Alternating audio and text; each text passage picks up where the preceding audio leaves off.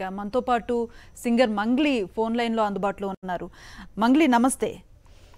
నమస్తే అండి. ఈరోజు మనం చూస్తున్నాం తెలంగాణ సాహిత్యానికి సంబంధించి చాలా సేవ చేశారు ఆయన. కానీ ఆయన లైఫ్ని ఇట్లా ఎండ్ చేసుకోవడం అనేది చాలా షాకింగ్గా కనిపిస్తూ ఉంది. ఎలా చూస్తున్నారు? మీకు పరిచయమేనా? కందికొండ గారు? అయ్యో బాగా అండి. అంటే తన ఫస్ట్ పాటతోనే నేను ప్రపంచానికి పాటతోనే చాలా బాధగా ఉంది.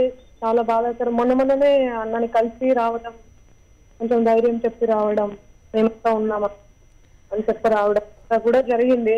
కోలుకుంటున్నాడు అని చెప్పి కోలుకున్నాడు అనుకున్నాము. ఇంకా మేము మేము పనిలో పడిపోయినాము. ఖర్చు అయిపోయి, చాలా బాధ. రైట్ రీసెంట్ డేస్లో కలిశానని చెప్తున్నారు కదా అప్పుడు ఎట్లాంటి మాటలు మీ మధ్య జరిగాయి? మాతో ఏమైనా షేర్ చేసుకోగలరా మీరు?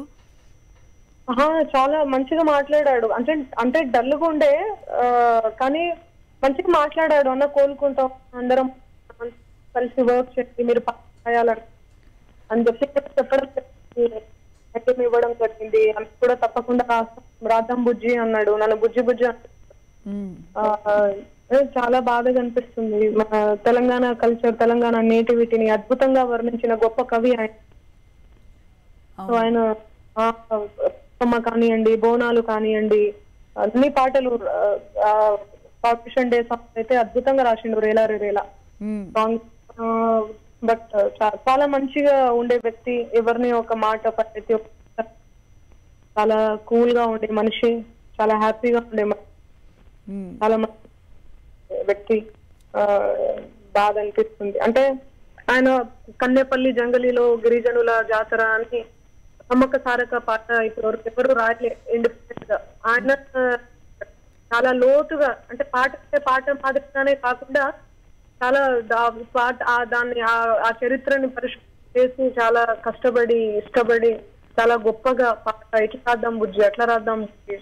అనుకుంటా చెప్పి ఎంకరేజ్ చేసుకుంటా అంత వర్క్ పిచ్చి ఆయనకు వర్క్ మీద ఉన్న ప్రేమ వేరు.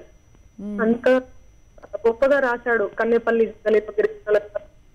ఆ జాతర జరిగినప్పుడు కూడా ట్వంటీ ఫోర్ అవర్స్ అదే సాంగ్ వాళ్ళు అక్కడ ప్లే చేయడం జరిగింది జాతరలో. సో అట్లా చనిపోయినా ఆయన ఊపిరి ఆగిపోయినా కూడా ఆయన పాట మాత్రం నా గొంతులో వేరే వేరే వాళ్ళ సింగర్ నా లాంటి సింగర్స్ వాళ్ళ గొంతులో ఎప్పుడూ బతికి ఉంటది. ఆయన ఊపిరి ఆగిపోయినా నా గొంతులో మాత్రం ఆయన పాట బతికే ఉంటది. నిజం అది. కానీ ఆయన ఇట్లాంటి చర్యకు పాల్పడడం అనేది అసలు ఊహించలేదు. ఎందుకంటే ఆయన కలిసిన చాలా మంది రీసెంట్ డేస్లో కలిసిన వాళ్ళు కూడా ఆయన కోలుకుంటున్నారని అనుకున్నారని చెప్తున్నారు మీలాగే. కానీ ఇట్లాంటి ఓ స్టెప్ తీసుకుంటారని అసలు గెస్ట్ చేసి ఉండరు కదా? అలా అలాంటి స్టెప్ తీసుకునే మనిషి కాదు ఆయన. అంటే ఇతరులకు ధైర్యం చెప్పే వ్యక్తి కానీ అలాంటి స్టెప్ తీసుకుని తీసుకుంటాడు అని అస్సలు అనుకోలేదు నేను ఎప్పుడు కూడా. సడన్ న్యూస్ అసలు జీర్ణించుకోలేని న్యూస్ ఇది చాలా. చాలా. సినిమా సాంగ్స్ కూడా ఎన్ని పాటలు అద్భుతంగా ఎన్ని హిట్లు అసలు. ఎన్నో హిట్లు. నిన్నే నిన్నే పాట. నిన్నే నిన్నే, నిన్నే.